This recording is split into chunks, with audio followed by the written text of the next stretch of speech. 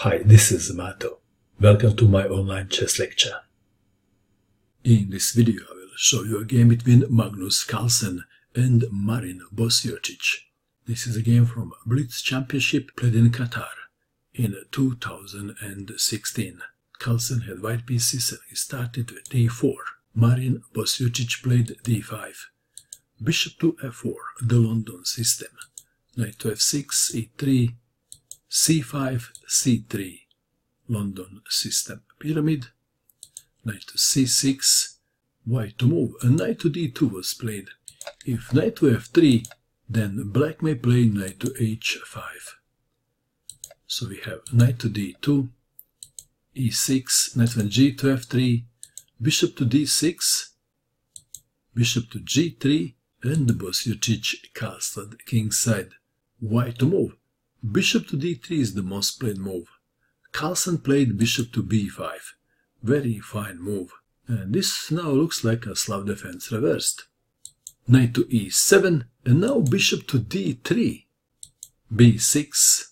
White to move. Castling looks like a very normal move. Instead, Carlsen played e4. Generally you don't want to open the e-file if you do not castle, and your opponent did. But Magnus Carlsen knows when breaking the rules is okay. d takes on e4. Knight takes on e4, knight takes on e4.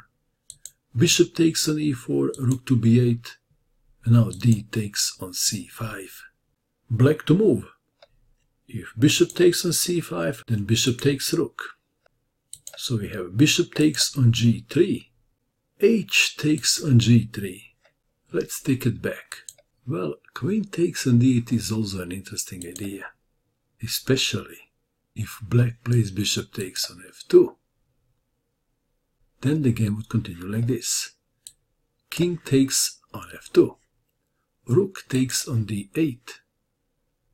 And now the key move c6, threatening c7 and white is much better, even after knight to d5, rook from a to d1. Okay, back to our game. Carlsen played h takes on g3, f5. If queen takes on d1, king takes on d1, f5, bishop to d3, b takes on c5, king to c2.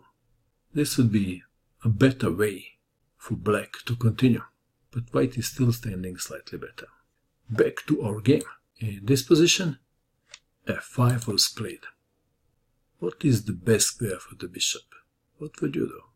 Carlsen played queen takes a queen, rook takes queen. This is now the most interesting position of the game. Carlsen went for this position because he saw a win. Can you see a win in this position? What would you do? Please pause and find the best move for white. What did you find? Did you find c6? Not moving the bishop, but threatening pawn to c7, winning a rook. Knight to d5. Bishop takes on d5.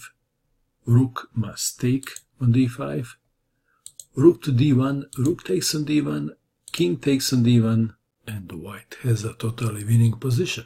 The white pawn on c6 is extremely dangerous and can be defended with knight to e5. The game continued.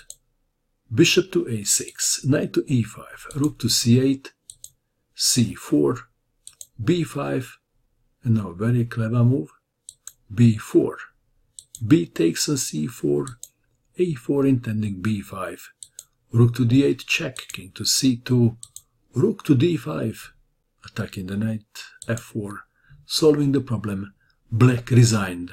For the entertainment purpose, I will show you just one line. G5, b5, g takes on f4, g takes on f4, bishop to c8, knight takes on c4, rook to d4, king to c3, rook takes on f4, knight to d6, and what now? The bishop is lost. After say rook takes on a4, knight takes on c8, king to f7, rook takes on h7, check, king to f6, rook takes on a7, rook to g4, b6, rook takes on g2, b7, and I guess we can stop here. How much would you pay for a chess course which would teach you to play London system like Magnus Carlsen? Well, you don't need to pay anything. Just click on the link below the video and get your free Magnus Carlsen course. And that is all. I hope that you enjoyed watching this video. I wish you good luck with your chess and bye for now.